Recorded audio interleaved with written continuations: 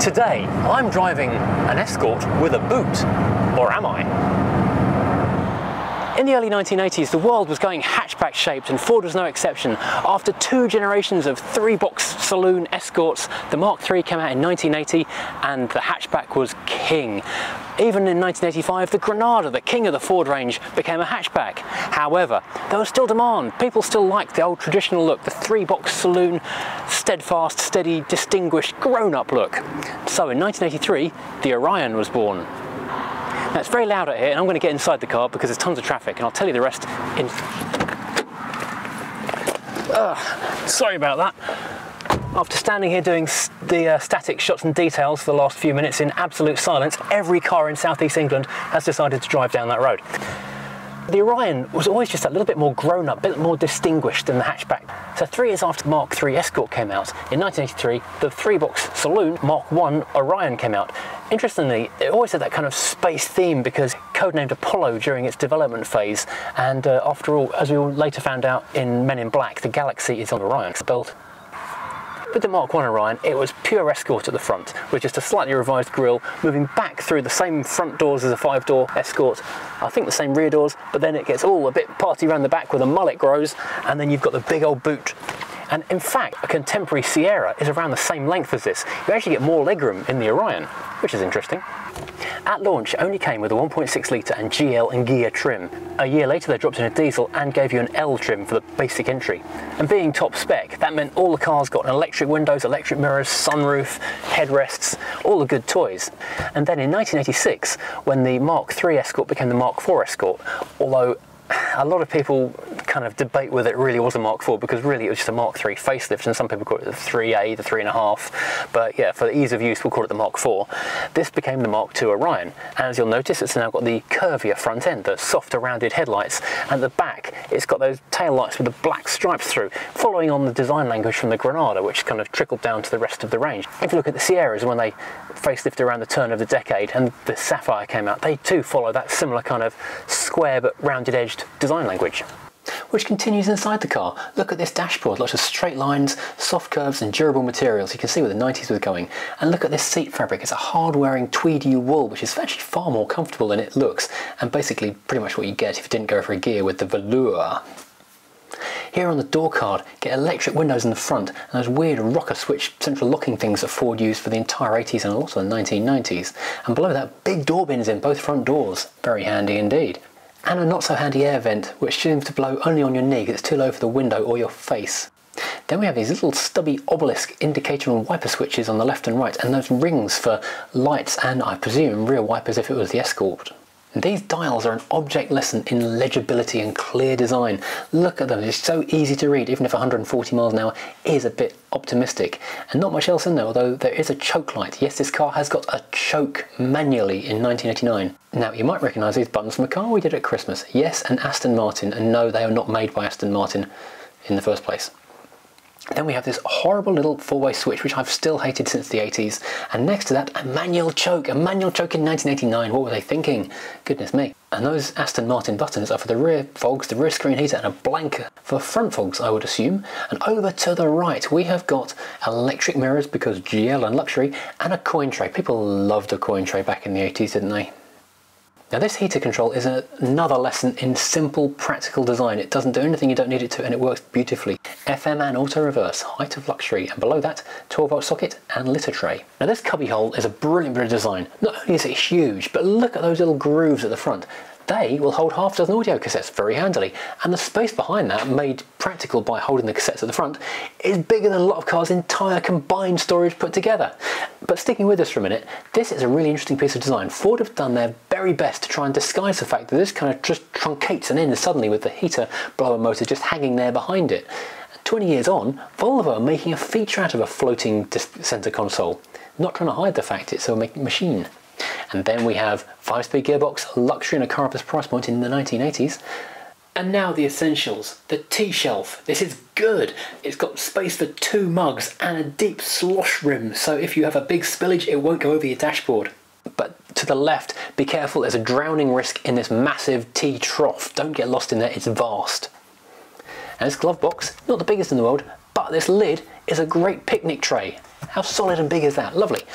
Now up in the ceiling, height of sophistication, digital clock and a courtesy light. And because GLs and Ghias all came with the standard, we have a covered glass tilt slide sunroof, only manual, but hey, who's complaining at this price point? Let's look in the back. Now, as I said, more legroom than a Sierra. I haven't sat in the back of a Sierra in a very long time, but uh, this is actually really comfortable. The seat is deep and squishy on this same hard-wearing um, fabric, but with nice padded foamy bits. But yes, I've got lots of room for my knees, loads of room for my feet, uh, decent headroom. This is really good. This is a really well thought out car. I remember my dad having one of these back in the 80s, and at the time I think he hated it because he come from a Carlton, which is a much nicer car to be fair. But I never remember being uncomfortable in the back of the car.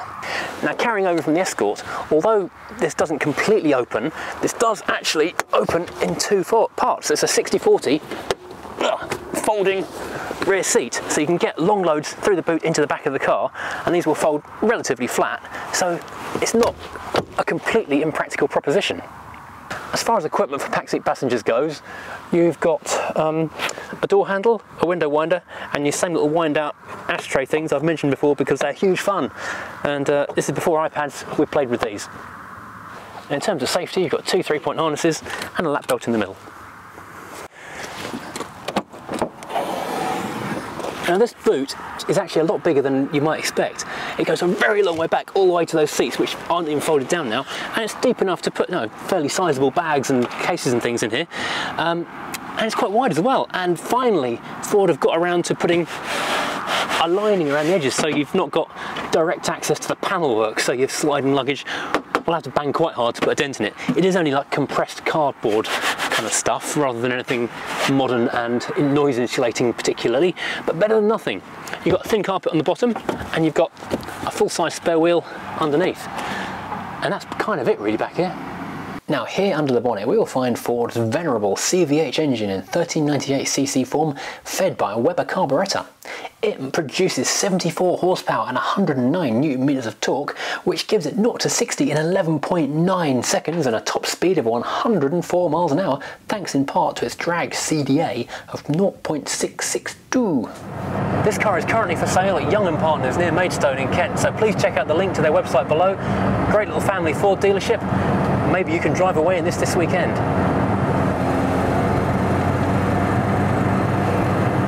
Well, the little 1.4 doesn't have masses of go, but it's not bad. It's not as quick as the 1.6. People in the know back in the day would buy it over the XR3i because um, it was the same engine, but with just a tiny bit less performance, and so you get away with phenomenally cheaper insurance because these didn't attract the same kind of people. These attract more grown-up family people rather than uh, boy racers and less people less likely to bling their cars up in an embarrassing manner. Well, it was very trendy then, but looking back, time hasn't always been quite so kind. Now the pedals are really light. Accelerator, you know, goes down smoothly. The clutch is almost no effort to push. And the gearbox is actually really quite easy to just glide through a little too easy you might say because uh, it's a five speed box and the 135 ratios are actually quite close together so if you're not paying attention or if you're used to a car with a more widely spaced gearbox it's not too difficult to inadvertently slide it from 2 to 5 rather than 2 to 3 which is a little bit embarrassing. Have to say, I'm genuinely not sure whether this car's got power steering or not. I couldn't find anything on the specs relating to it, and I don't think Mark IV Escorts had it as standard from memory. But the wheel is so light it could be power assisted but at the same time heavy enough that perhaps it couldn't and it's got a nice kind of connected direct feel to it that suggests it's probably not power steering. I don't think Mark 4s did. I had a couple of Mark 3s and 4s and I don't think any of them did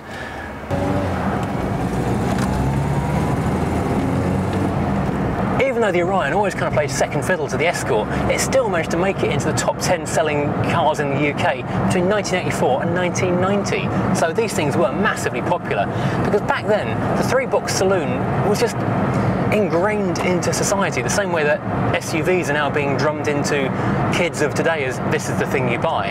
Back then, it's what your granddad drove, it's what your dad drove, so it's what you drove.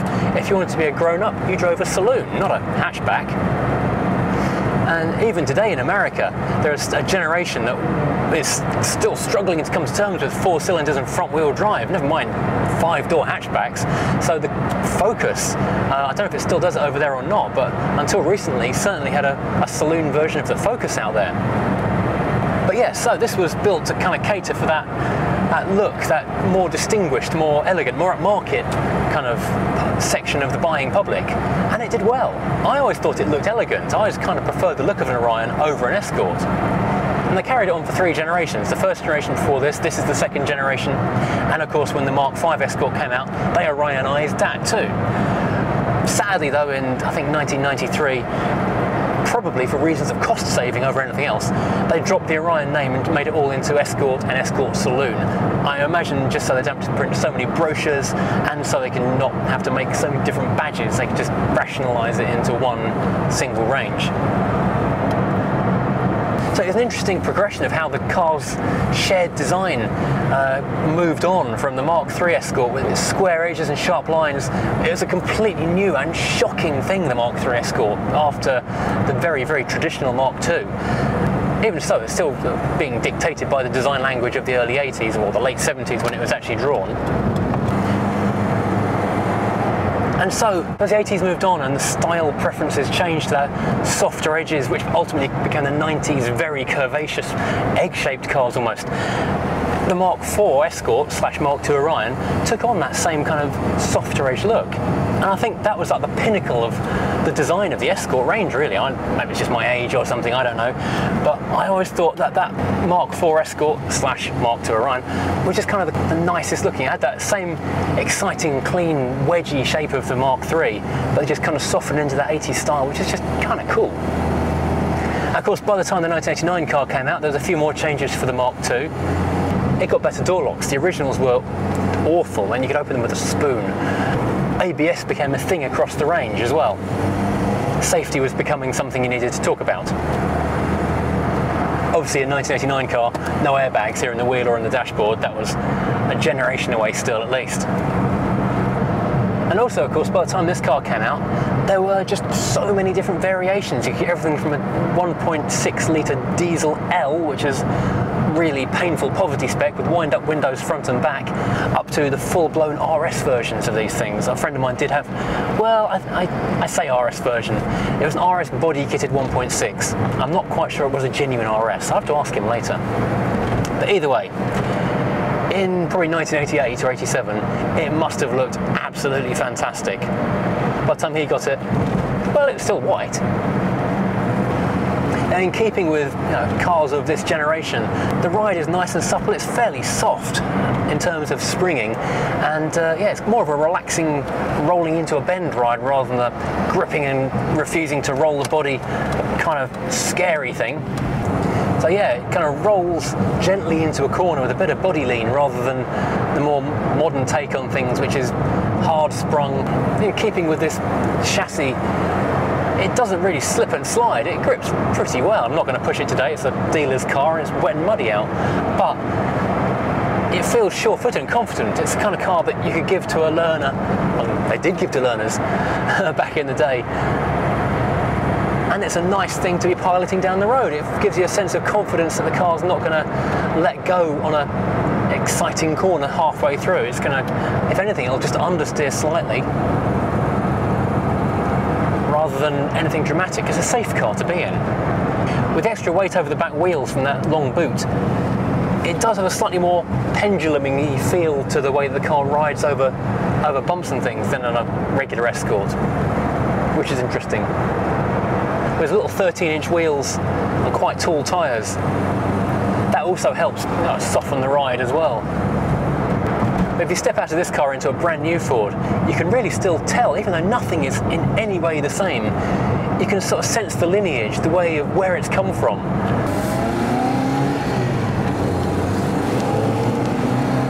Typical Ford CVH engine, it's a little bit rattly and raucous, but at the same time it revs quite willingly and pulls the car along really quite happily. And the more you drive it, the more you get used to that little kind of very tight gate on the gearbox, the better it gets.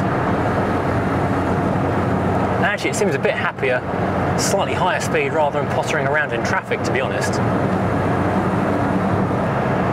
I have to say, for the price, I think it's for sale at 22.50. I think the price on this car is. It's a bit of a bargain.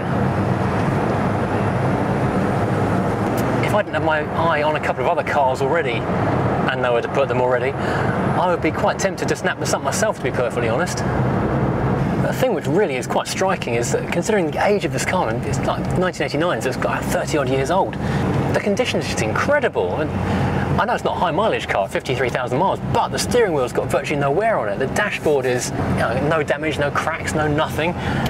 The door cards, I mean, beyond a bit of dirt from where people have just left their elbows on there over many, many hot summers, um, it's unmarked. Just a few little kind of fingernail marks in this door handle, but that's kind of to be expected with this kind of plastic. It does mark a little bit easily.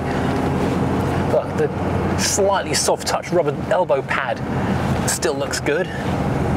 If you're wondering why I'm driving in this slightly weird manner right now, it's because we're following a tractor at about 15 miles an hour, and it's just exactly in between the ratios of second and third of where the car wants to sit also very much of its time is the colour of this thing, this kind of minty metallic green, um, which kind of came into fashion in the 80s and then disappeared again. But if you look at a Mark 1 Focus from about, say, 98, 99, maybe even 2000, virtually the same colour is back on those cars again, and then it vanished again for most of the early noughties.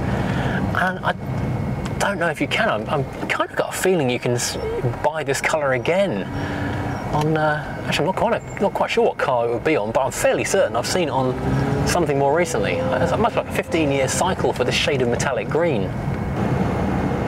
I quite like it actually. I've never had a green car.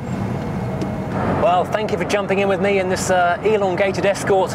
My personal favourite of the Escort range, actually, the Mark II Orion. Of all the Escorts and Orions, this is my favourite body shape. It's just my, my, I don't know, my age or something.